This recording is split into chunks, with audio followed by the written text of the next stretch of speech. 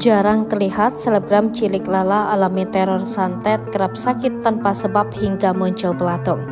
Lama tak muncul di media sosial, selebgram dan tiktoker cilik Lala alias Sabira Alula Adnan kini membawa kisah pilu. Lala dikabarkan sempat mengalami teror santet hingga menyebabkan kondisi tak wajar. Diungkap sang ayah, Adnan Fahmi menyebut putrinya sering murung hingga sering merasakan sakit tanpa sebab. Seperti diketahui, Lala dikenal sebagai anak yang periang dan sering muncul di FYP karena tingkahnya yang lucu dan aktif. Namanya semakin menyita perhatian publik karena interaksinya dengan banyak orang menggunakan bahasa Indonesia yang sangat baku. Namun sejak dikabarkan terkena guna-guna, tingkah lucu Lala jarang terlihat di media sosial.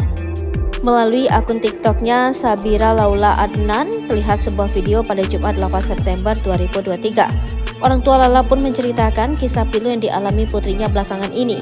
Diketahui jika Lala mengalami sakit seperti panas setiap pukul 2 dini hari, bahkan mereka telah memeriksakan Lala ke dokter. Setelah melakukan cek medis, lab hingga darah, semua hasilnya justru normal. Selain badannya yang panas tiap dini hari, Lala juga mengaku kerap mendengar suara gergaji. Berdasarkan penuturan ayah Lala, Adnan Fahmi mengungkapkan bahwa beberapa bulan lalu hawa rumahnya sempat panas. Bahkan mengejutkannya, mereka sempat termakan belatung dalam makanan.